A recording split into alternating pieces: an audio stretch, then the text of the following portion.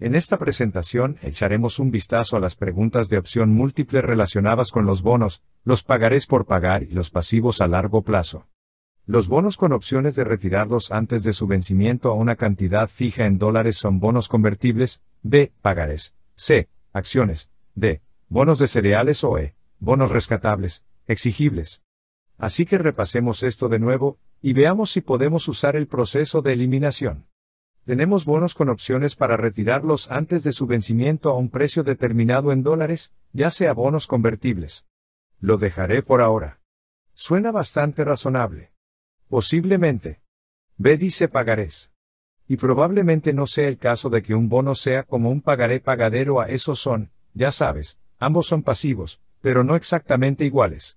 Así que no creo que vaya a ser que C diga stock. Y, de nuevo, las acciones y los bonos, se puede pensar en ellos como si fueran juntos cuando hablamos de inversión.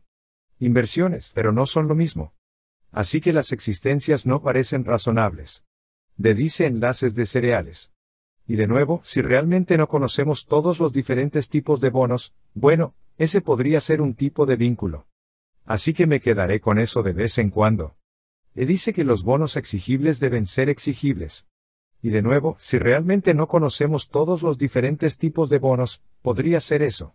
Así que nos quedamos con una D y una E, bonos convertibles, bonos de cereales y bonos rescatables.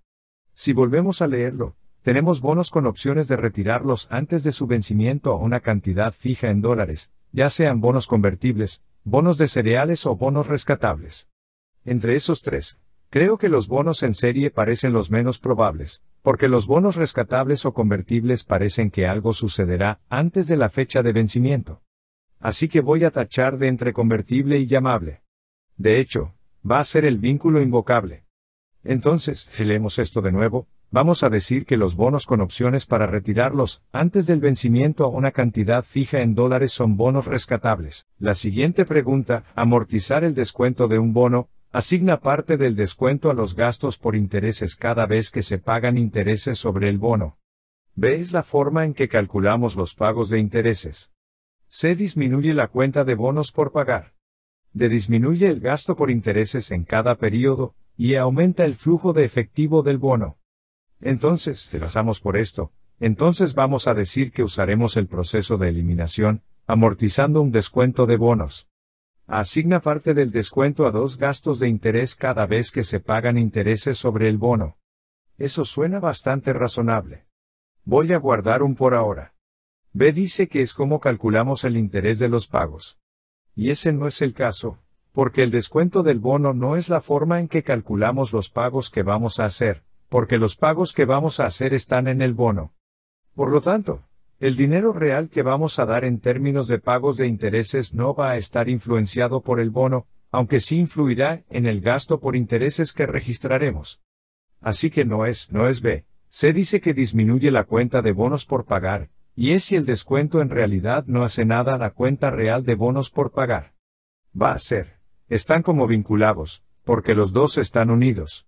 Para obtener el monto en libros que tomarías, debes restar los dos para obtener el monto en libros del bono, pero no es parte de la cuenta por pagar, por lo que no es C. Le dice que disminuye el gasto por intereses en cada periodo. Ahora, si pensamos en eso, eso podría ser un poco confuso. Así que tendremos que, tendremos que hacerlo. Es posible que esté haciendo algo para interesar el gasto. Sí, si A es verdadero y D es verdadero, entonces algo está sucediendo con el gasto en intereses. La pregunta, ¿Está disminuyendo o aumentando? Y luego dice que aumenta el flujo de caja. Así que me quedaré con eso por ahora.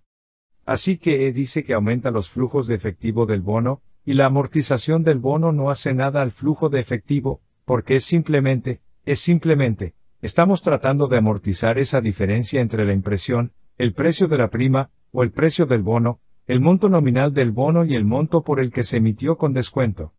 Y para eso está el descuento. Así que solo estamos amortizando el descuento, si no hacemos nada para cobrar por lo que no es E, por lo que nos quedamos con A y D, si leemos esto de nuevo, amortizar un descuento de bono, ya sea asigna parte del descuento a los gastos por intereses cada vez que se pagan intereses sobre el bono, o de disminuye los gastos por intereses en cada periodo.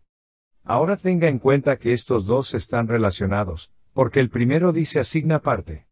¿Los descuentos en gastos por intereses? Bueno, eso significa que está haciendo algo con el gasto por intereses y realmente no dice qué, pero luego de dice que disminuye el gasto por intereses en cada periodo. Así que no puede ser el caso si nos limitamos a estos dos, no puede ser el caso de que ambos sean ciertos. Y si sabes si de es verdadero, a debe ser verdadero porque está asignando el descuento que resultaría en de en otras palabras, tampoco puede de, si de es verdadero, a tiene que ser verdadero y si A es verdadera, de no necesariamente tiene que ser verdadera. Y por lo tanto, si vas a estos dos, tiene que ser un aquí. Entonces, si lo pensamos de otra manera, vamos a decir, sí, esto es lo que estamos haciendo. A es lo que está pasando. Estamos asignando el descuento del bono al gasto por intereses para deshacernos de él durante el periodo de tiempo. Y cuando lo hagamos, recuerde, el descuento es una cuenta de contrarresponsabilidad, por lo que tiene un saldo deudor. Por lo tanto, el saldo deudor tiene que bajar. Así que acreditamos, cuando hacemos la entrada en el diario, acreditamos el descuento. Por lo tanto, el descuento del bono sería un crédito y luego debitaríamos el gasto por intereses. Y el gasto por intereses es una cuenta de saldo deudor. Por lo tanto, si lo debitamos de nuevo, estaría aumentando el gasto en intereses. Y, por supuesto, esto sería decir que está disminuyendo, por lo que va por el camino equivocado. Así que la respuesta va a ser una amortización de un bono de descuento. Asigna parte del descuento a los gastos por intereses cada vez que se pagan intereses sobre el bono.